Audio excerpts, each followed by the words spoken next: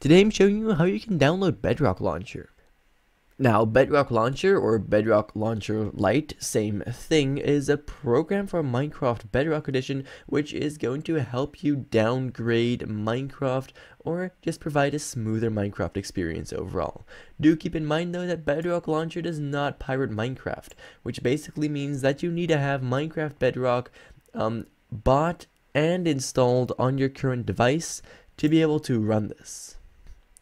Anyways, you can find a link to download at the top of the description over here. This is the official website, and to download it, you want to click on this green download button on the left side over there. You might get this notification here. You want to click on OK, and as you can see in the bottom left of my screen, Bedrock Launcher has started downloading.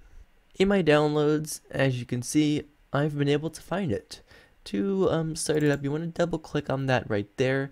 Um, this 7-zip is self-extracting archive little box here is going to come up. You want to click on extract there and then it's automatically going to extract and you're going to be left with a folder here.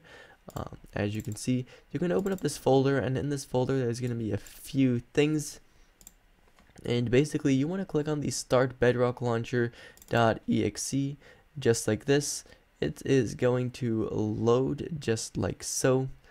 And then once it's done that um, it is going to just give you this welcome screen welcome screen right here. Welcome to the bedrock launcher. You can click on next. Um, then here this is just the location it's going to install. You just you definitely just want to keep this as it is. Uh, don't do anything else or something like that um, then you want to choose your account, which can also just be a default account. However, I'm going to select my own account.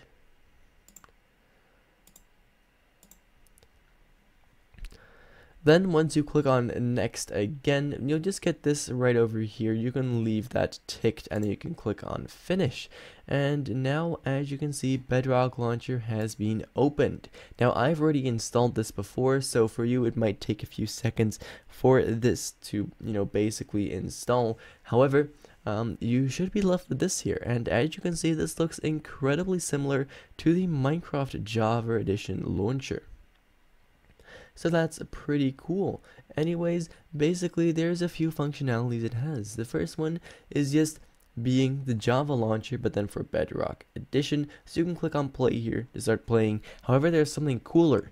Um, so you know how with Java Edition you can well if you don't know you can go back versions um, to any version you want. And with this Bedrock Edition launcher you can do the same.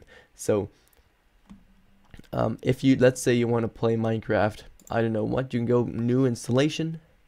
Um, then you can choose your version. So for example, I can play Minecraft, um, let's say um, like 1, 1, 1.12 right here um, for Minecraft Bedrock Edition. And then you can just call this anything you want. So 1.12 probably then in my case. Then you can click on create um, and then you can just, you can have all your installations here that you want. Uh, and you can make as many as you want as well. And as you can see, I can play one at 12 here now if I want to. I can play the latest release, which is just going to be fully updated Minecraft. Uh, and you can play betas and previews as well without having to have the separate beta and preview um, app. Anyways, we can just probably select the latest release here since that's the most convenient and you want to click on play. Now that is going to start downloading and that is going to take a while. Um, as you can probably tell. However, um, that is only the first time you are starting up a new installation. Once you have done that um, for the first time, you'll never have to do it again. As you can see, Minecraft has successfully loaded up and it's loaded up well what for me is currently the most recent version of Minecraft which is 1.20.0 1.20.1 is probably going to be out by the time this video comes out and maybe if you're watching this video in the far future you might be in 1.22 who knows? Either way this should all work the same and if it doesn't then I will leave a video in the description as well as in the pinned comment letting you guys know that things have changed Anyways, there is one last thing to take note of here. You should be able to do everything just fine. However, as you can see, I only have one world here, and all my other worlds are gone. So for that, I will link the Bedrock Launcher FAQ page in the description as well. And basically, this is just going to help you um, get get your worlds back. So you'll only have to do this the first time. uh, and basically this is just you know that because you installed bedrock launcher that your worlds are going to be gone. Don't worry they will all still be saved on your device. Um, bedrock launcher just won't be able to load them up sadly uh, and this is just going to help you fix that and it'll help you actually load it up.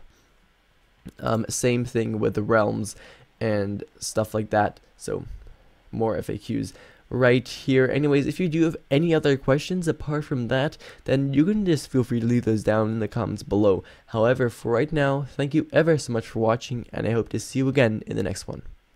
Bye-bye.